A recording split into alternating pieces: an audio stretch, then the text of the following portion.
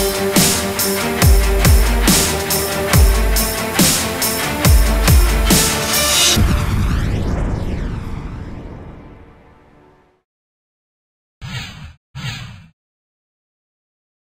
Предупреждението на Държавния департамент на САЩ пред социалните мрежи за възможна терористична заплаха срещу градския транспорт около бившия хотел Плиска в София подразни министър-председателя Бойко Борисов. Днес той коментира съобщението, пуснато в официалната фейсбук страница на Държавния департамент като абсурдно и обвини медиите, че са създали истерия.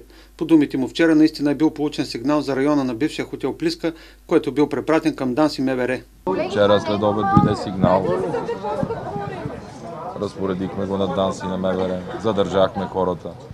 Оказва се, че любовна история между еднополови. Изчисти се сигнала, задържахме го. В момент. Днеска на Ситнякова при наша акция задържаме каналджия, който гоним от маса време. И не мога да разбера откъде идва тази истерия. Не мога да коментирам американските дипломати, но мога да кажа, че в случая така глупост не им прави чест. И не случайно в официалното пресъобщение на Министерския съвет съм го казал. Това, са американски дипломати, не означава, че е, сега ние разследваме как е станала цялата работа, но за вашите зрители повтарям за втори път. Една голяма любов и предизвика тази истерия.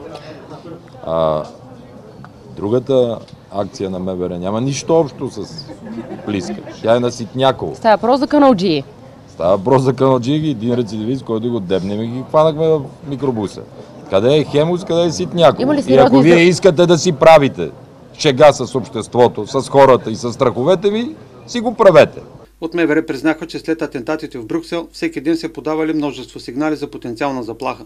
Хората подават множество сигнали, определено чувствителността на гражданското общество е изострена и това е хубаво да продължи. А сигналът за плиска вчера ли е бил подаден и проверен? А, сигнала в заплиска е подаден в вчерашния следобед и в рамките на 4 часа е изчистен. Моето лично убеждение е, че става въпрос за определено чиновническо преекспониране на темата, което е формирало заблуждение в някой високопоставен представител на въпросната мисия. Да, става въпрос за тероризъм. Точно така. Всеки гледа да вземе а, така, колкото се може повече а, а, а, предохранителни мерки. Според главния секретар на МВР, въпреки многото сигнали, към момента няма реална опасност за обществото от терористични нападения.